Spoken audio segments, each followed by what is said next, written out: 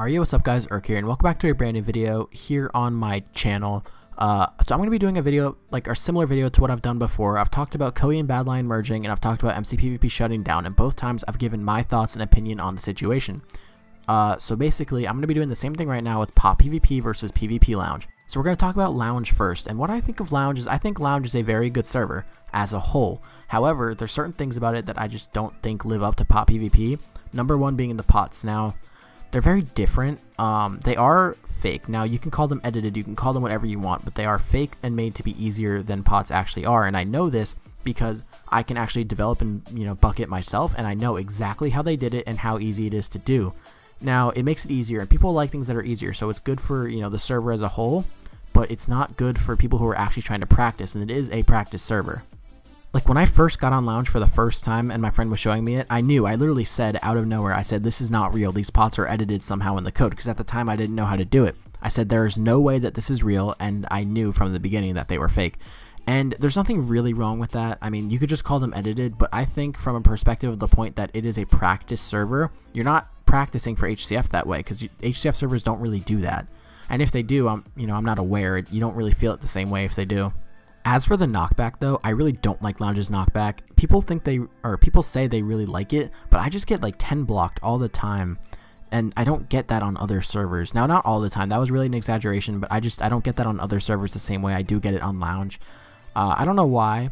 I kind of wish that Lounge had better uh, knockback just because I played it for a long time and made ELO series on there.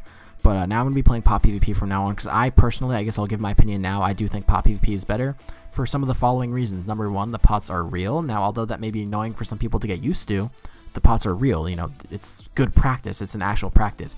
I think the knockback is better personally, but that's just because I've always liked MineHQ's knockback. I can't really say much about that. I don't know enough. I'm not a practice warrior. I just personally do think it's better. I enjoy it more to play with. And the clear thing is the fact that it's open to everybody, even though it's not even out yet. Now, PvP Lounge has been having their private beta for a very long time now, and I think it's pretty evident to everybody that it's not going to come out fully unless some shit goes down that makes them need to come out. Uh, they're making a lot of money from whitelist, and that's their business model, and I respect that. You know, I've been a server owner before. I respect that their business model is for people to pay to get on, but they should just be open about it and not call it a closed beta, because the server is clearly ready for launch. Like, it, it's been out for a while. They just put a new spawn, and they put out an update before they even opened it. Now, that's fine. I just think they should be open about it with the players. And once again, I have nothing against PvP Lounge as a whole. I think it's a good server. It's well set up. The plugins are well coded. I just think there's a couple things that give PotPvP an edge, and I think will be the reason PotPvP is much more popular, along with the fact that it's actually open to everybody. The only thing I'll say about PotPvP, and please don't ban me for this, is that the staff on there are very defensive about the server. Uh, it's very clear that people get banned just for talking a little bit of shit. And honestly, I kind of agree because, like, you know, you don't need those players on there, but it's a little bit, you know, I think it's a little bit extreme the way they do on there. Again, please don't ban me. I'm a, I'm a fan. Now, do I think the two servers can exist together? Yes, it definitely can. I think PvP Lounge, you know, has its place in the community, but I think PotPvP is definitely going to take over as the main practice server.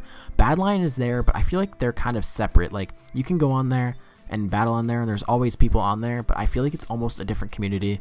Uh, i only go on there for like build uhc and stuff because that's the only way i like their knockback because that's really what it's built around.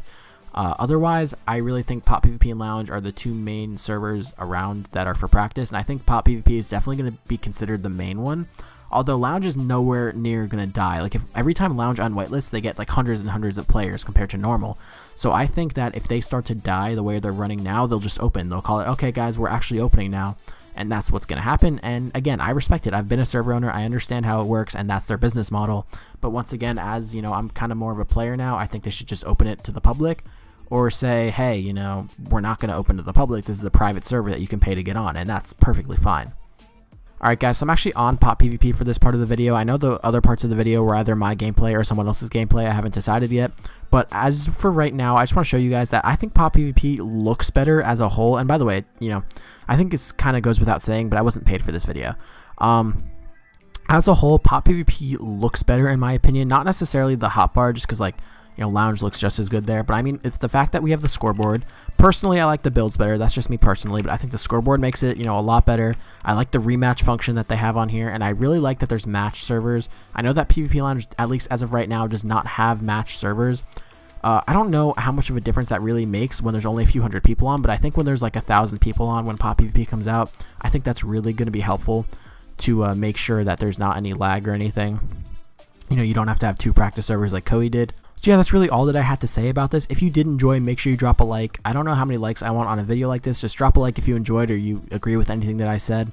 Uh, I will see you guys in a video tomorrow, maybe a stream later. Peace out.